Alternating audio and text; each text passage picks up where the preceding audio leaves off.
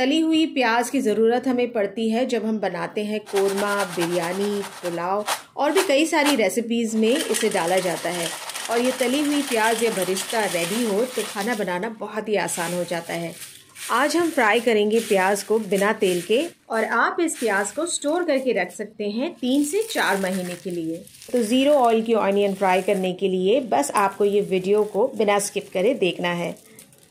तो ये oil free प्याज का बरिस्ता बनाने के लिए हम प्याज लेंगे। प्याज को हमें वॉश नहीं करना है।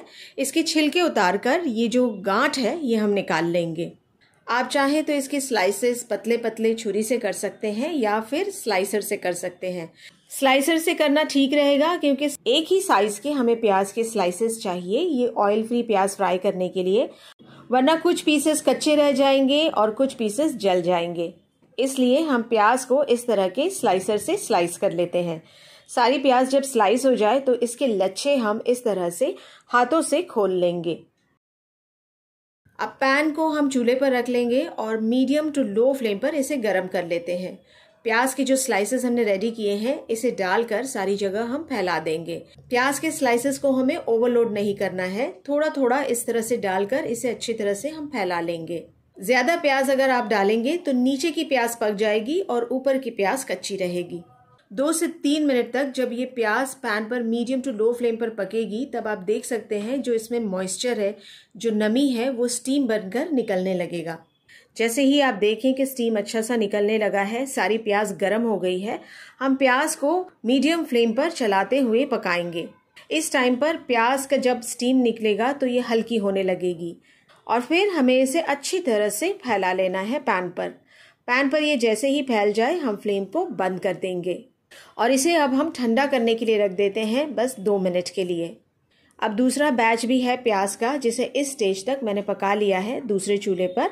इसे इसमें मैं मिक्स कर लेती हूँ।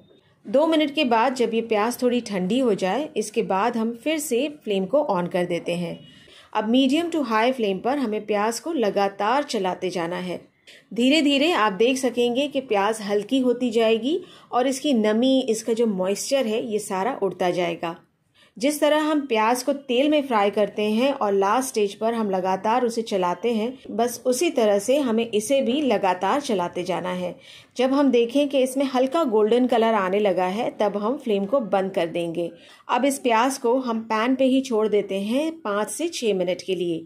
इस तरह से प्याज ठंडी भी हो जाएगी और जो बचा हुआ इसमें मॉइस्चर है, इसमें नमी है, ये सारी उड़ जाएगी। हल्का सुनहरे कलर का बिना तेल वाला प्याज का बरिस्ता बनकर रेडी हो गया है। इसे बनाने में आपको सात से आठ मिनट लगेंगे। तेल वाली प्याज से भी क्रिस्पी और हल्की ये प्याज बनकर रेडी होती है, क्योंकि तेल वाली प्याज में 40 से 50 परसेंट तेल भरा होता है। इसे आप एयर टाइट जार में रख लीजिए। तीन से चार महीने तक ये एकदम फ्रेश और क्रिस्प रहेंगे।